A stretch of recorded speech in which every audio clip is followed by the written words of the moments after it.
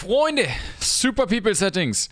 Ein weiteres Video, was ich machen werde, wo es tatsächlich heißt, ja übrigens, wenn du alles auf Low ballerst, ist das nicht das Beste, was du tatsächlich erreichen kannst in dem Game. Also, gucken wir uns die Settings hier mal an. Für die Leute, die neu hier sind, ich bin der Nico Dirty Twisted. Schön, dass ihr am Start seid. Wenn ihr Fragen zu den Settings habt, schaut gerne mal auf Twitch vorbei oder haut auch gerne in die Kommentare bei YouTube. Link zu Twitch findet ihr natürlich auch in der Videobeschreibung. Ansonsten, let's go. Wir fangen mit dem Anzeigemodus an und ich glaube, es ist kein Geheimnis, dass der Vollbildmodus einfach mittlerweile der beste Modus ist, um die meiste Leistung halt einfach aus jeder Anwendung rauszuziehen. Also hier natürlich No-Brainer, Vollbildmodus. Auflösung wählt ihr die Auflösung aus, die ihr euer Monitor, euer Gaming-Monitor halt dementsprechend hat. Bei mir ist das an der Stelle äh, Full HD. Hier wird es äh, bei Nvidia DLSS eigentlich nur dann relevant, wenn ihr eine Nvidia-Grafikkarte habt, der Karte RTX oder neuer und äh, es für euch halt relevant ist, dass eure Grafikkarte so ein bisschen am Limit ist mit euren Einstellungen. Das heißt, es wird eigentlich für die Leute interessant sein, die WQHD spielen und wirklich krass hohe Grafikeinstellungen haben oder halt 4K spielen und dieses Game zocken müssen. Da wird halt Nvidia DLSS interessant. Ansonsten eigentlich im kaumsten Fall irgendwie relevant. Nvidia Reflex an der Stelle ist einmal scheinbar gerade aktuell ein bisschen buggy, weil das resettet sich die ganze Zeit, wenn man das Game startet. Was relevant ist für Nvidia Reflex, es reduziert einfach Input Lag. Demnach auf jeden Fall anschalten, das als Minimum, am liebsten An- und Boost. Äh, An- und Boost, solltet ihr eine schlechte Belüftung in eurem Gehäuse haben, dann wird das halt vielleicht ein bisschen zu Wärme führen, aber eigentlich nicht. Also An- und Boost, auf geht's. Wenn ihr auf einem Laptop spielt, da vielleicht dann nur anwählen. Das könnte nochmal ein Punkt sein. V-Sync aus. Helligkeit und Schärfe sind Sachen, die ich generell über das Bild halt nicht gemacht habe. Ähm, also über das Spiel selber, sondern es lässt bei mir einfach über die Nvidia-Systemsteuerung laufen. Da kann man nämlich nochmal direkt für den Monitor selbst die Farbe ein bisschen abändern. Das habe ich für Escape from Tarkov gemacht. Da kann ich auch gerne jetzt mal hier einen Link irgendwie einblenden lassen. Ähm, dort findet ihr dann einmal meine Einstellungen zur Farbe tatsächlich. Maximale FPS im Spiel, hier wählt ihr an der Stelle einmal einfach aus, was ihr für eine Herzzahl eurem Monitor habt. Relativ simpel. Maximale FPS in der Lobby, man braucht nicht mehr als 60, also von daher auf geht's, 60 FPS. Blickwinkel 110, einfach damit man alles mögliche sehen kann.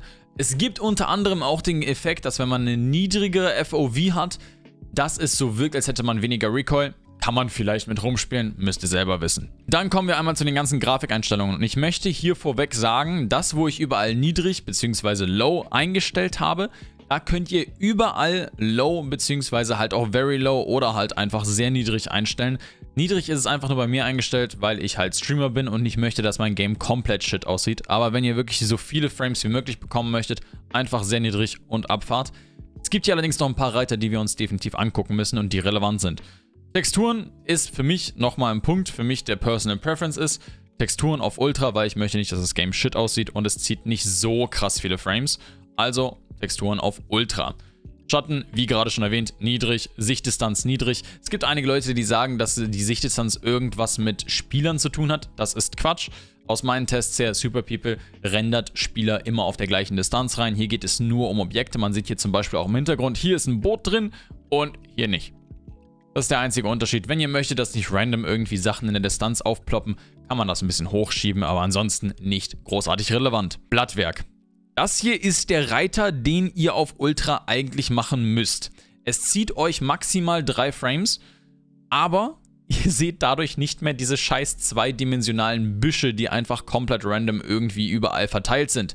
Also Blattwerk definitiv auf Ultra. Ich werde euch jetzt hier, denke ich mal, ganz kurz den Unterschied zwischen Ultra und Very Low packen, reinpacken. Dann seht ihr einfach, ihr könnt definitiv besser ähm, ja, die Dimensionen voneinander unterscheiden und ihr habt nicht mehr das Gefühl, dass ihr auf einmal auf einen ähm, Busch auf einmal flickt, weil ihr denkt, das wäre ein Gegner, der auf euch zukommt. Effekte ist der einzige Reiter, den ich bei mir noch auf sehr niedrig habe. Liegt halt daran, dass ich nicht möchte, wenn ein Gegner eine Ultimate zieht oder sowas, dass ich auf einmal Frame-Jobs bekomme. Shader-Qualität an der Stelle ebenfalls auch auf niedrig. Wieder der gleiche Grund wie eben, könnte die auch auf sehr niedrig machen. Die Kantenglättung an der Stelle möchte ich an der Stelle auf Ultra haben. Liegt daran, dass ich ein Streamer bin und der Encoder generell ein Fan davon ist, wenn Sachen rund sind und nicht mehr so kantig sind.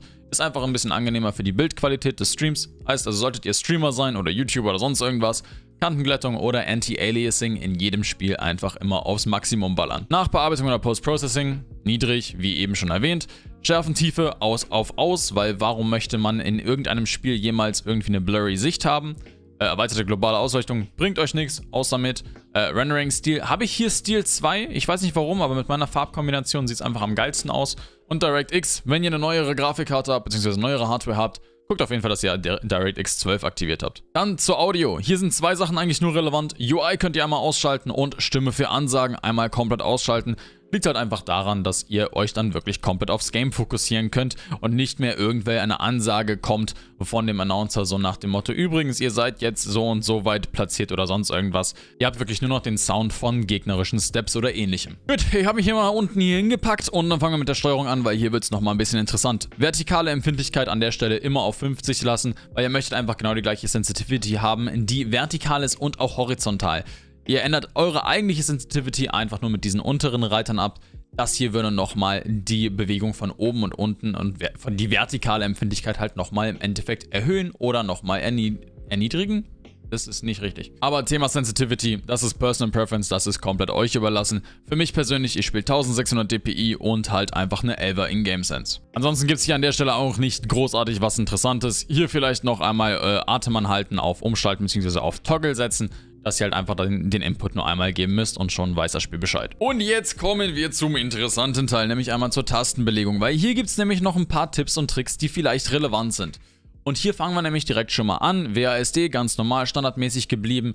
Aber Springen und Parkour ist was Separates bei mir. Nämlich einmal, dass ich wirklich genauere Inputs geben kann. Jumpen einfach bleibt der, der ganz normale Spacebar. Und wenn ich Parkour bzw. Volten möchte, dann drücke ich dafür V. Dann einmal nach links und rechts lehnen habe ich bei mir auf Maus 4 und 5. Bietet mir halt da die Möglichkeit, dass ich WASD noch komplett frei habe so wie ich halt im Lehnen bin. Ich habe halt ein bisschen mehr Movement-Möglichkeiten und kann halt ohne Probleme noch ein bisschen strafen beim Schießen, was es für mich definitiv angenehmer macht. Ist ein bisschen erstmal eine Umgewöhnung für die erste Woche, wo man das so spielt, weil man natürlich einen Input auf der Maus gibt auf einmal noch und dadurch das Aim möglicherweise ein bisschen verzieht, aber dadurch, dass ihr halt WASD-Inputs noch geben könnt, während ihr euch bewegt, beziehungsweise während ihr halt im Lehnen seid, ist halt einfach ein Life-Changer. Dann habe ich einmal Zielen und Zielfernrohrmodus einmal gewechselt, also einmal das aus der Hüfte, das genauere aus der Hüfte schießen habe ich hier einmal auf links alt und der reine Aim-Down-Sight-Modus einfach nur auf Rechtsklick, so wie man es kennt. Was für euch auf jeden Fall nochmal interessant sein kann, ist, dass ihr möglicherweise eure Granaten einzeln keybindet.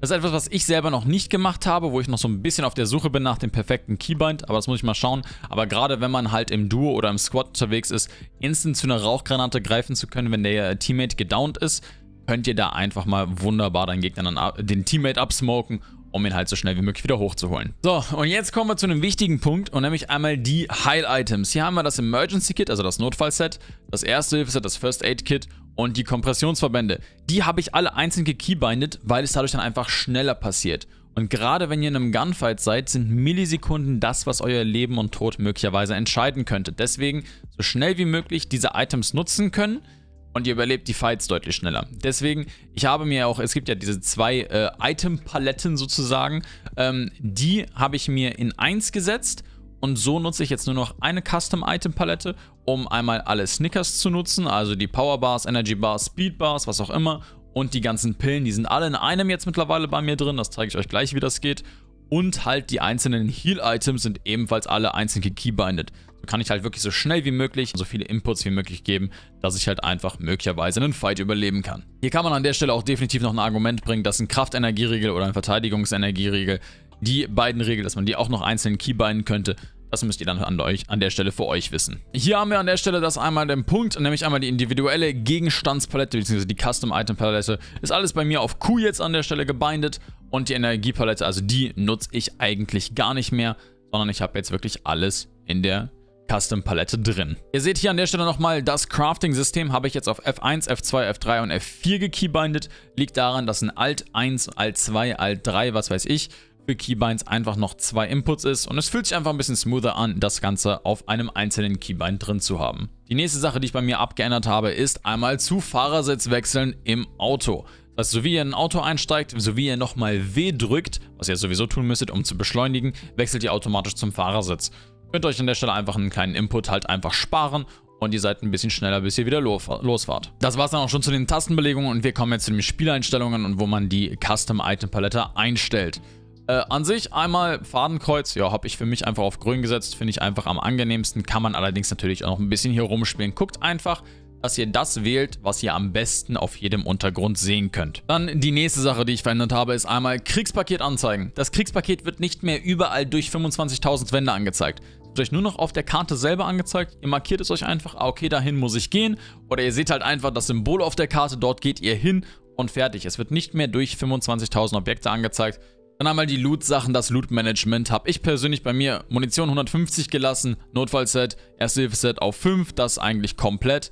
Ähm, beziehungsweise man könnte halt auch wirklich sagen, dass das Notfallset niemals gestoppt wird, weil das hier ist halt das eigentlich das wichtigste Heil-Item im Spiel. Ganz ehrlich, das würde ich auch einfach aufs Maximum hochdrehen. So, ändern wir das Ganze direkt nochmal on the fly. Aber ansonsten das nächste, was vielleicht nochmal interessant ist, sind halt einfach die Kraft-Energieregel und die Verteidigungsregel habe ich bei mir auf 6 gesetzt und den Speed-Riegel auf 2. Ist für mich einfach am angenehmsten, weil ich habe für mich persönlich, ich glaube, man braucht einfach nicht allzu viele Speedriegel. Und hier ist dann auch schon die Custom Item Palette, die ihr abändern könnt. Und hier sind die drei Ecken, die ihr auch einfach ändern möchtet, wenn ihr es so haben möchtet, so wie ich. Hier wäre normalerweise das Emergency Kit drauf, hier das First Aid Kit drauf und hier die Bandagen, die habe ich alle halt einfach jetzt wie gesagt rausgenommen und habe jetzt einfach die entsprechenden Energieriegel hier reingepackt, um diese zwei ähm, kreisförmigen, ja, die, die, die Platte, die, diese Paletten halt einfach in eins zu setzen.